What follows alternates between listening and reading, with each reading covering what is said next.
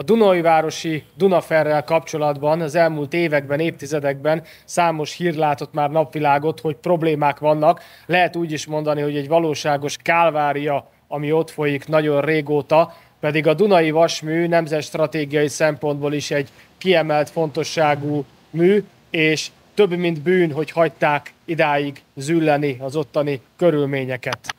Most arról lehet hallani, hogy újabb problémák vannak annál a vasműnél, amelynek komoly múltja van. 1949-ben alakították, és az 1980-as évekre érte el a kapacitásának felső határát. Onnantól fogva fejleszteni kellett volna, ez nem történt meg, majd 2002-ben elkezdődött a vasmű privatizációja, 2012-ben pedig újabb szintlépés történt lefelé, amikor orosz tulajdonba került, jobban mondva később ugye orosz-ukrán rendezetlen tulajdonba került. De még 2012-ben is a gépészeti, kohászati komplexumának köszönhetően Dunói város legnagyobb munkáltatója volt. Ma az a helyzet, hogy még mondjuk a 80-as években 13 ezeren dolgoztak a Dunai Vasműben, ez a szám ma nagyjából olyan 3500 főt tesz ki. Mint mondtam, 2012 után még nagyobb problémák kezdtek el tornyosulni, és nem csoda, hogy odáig jutottunk, hogy 2023-ban a fővárosi törvényszék kimondta,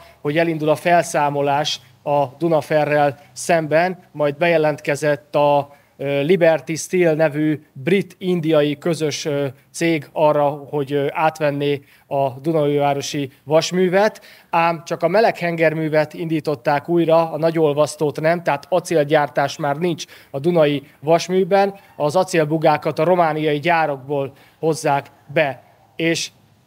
Amint az sajnos várható volt, és itt egy nyílt szembenézésre lenne szükség a kormány részéről, a Libertyről már tudni lehetett, hogy komoly likviditási gondokkal küzd, tehát hogy hosszú távon nem fogja megmenteni a Dunafert. Ez sajnos be is igazolódott, és további kérdés egyébként, hogy a kormány miért siettette az Európai Uniót is, hogy gyorsított eljárásban engedélyezzék ezt a, ezt a folyamatot, mert még egyszer mondom, tudni lehetett, hogy likviditási gondokkal küzd a brit-indiai cég. Most az a helyzet, hogy a műszakos dolgozókat állóidőre tették, és gyakorlatilag a bérük egyharmadát nem kapják meg, de még egyébként, amit megkapnak, ott is komoly csúszások vannak. Ez azt jelenti, hogy mondjuk egy olyan 150 ezer forinttal kevesebbet visznek haza a hónap végén, tehát megélhetési válságba sodorják a vasmű munkásait és családjaikat is. A Mi Hazánk mozgalom továbbá agályosnak tartja azt is, hogy mi lesz akkor, hogyha ezeket az embereket vagy felmondásba hajszolják, vagy végül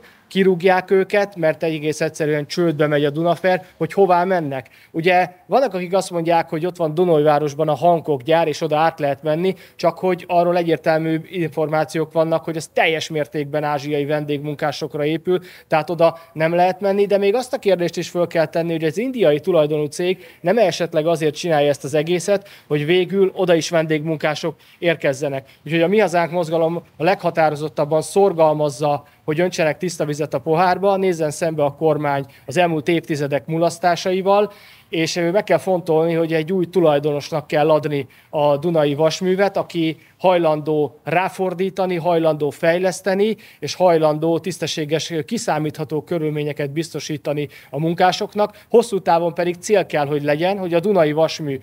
nemzeti tulajdonba kerüljön, Természetesen itt ez alatt nem azt értjük, hogy mondjuk Mészáros Lőrinc valamelyik cége megveszi, hogy onnantól kezdve neki termeljen, de minden marad a régiben. Komoly beruházásokra, ráfordításokra van szükség, tisztességes bérekre, körülményekre, erős szakszervezeti lehetőségre, és ami talán most jelen pillanatban a legfontosabb, mint mondtam, stabil, kiszámítható jövőképre. Mert ahogy, és hogy most kicsit visszamenjünk a történelemben, Kossuth Lajos mondta, a nemzet ipar nélkül félkarú óriás, ezzel egyetértünk, magyar iparra van szükség, ahogy például a Viradar programban a Mi Hazánk mozgalom az élelmiszer feldolgozó iparról is beszél, ilyen jellegű iparra is szükség van, és tehát azt mondhatjuk, hogy a Mi Hazánk mozgalom szolidáris a vasmű munkásaival, és eszközeinkhez mérten igyekszünk is tenni azért, hogy pozitív irányba induljanak el a folyamatok.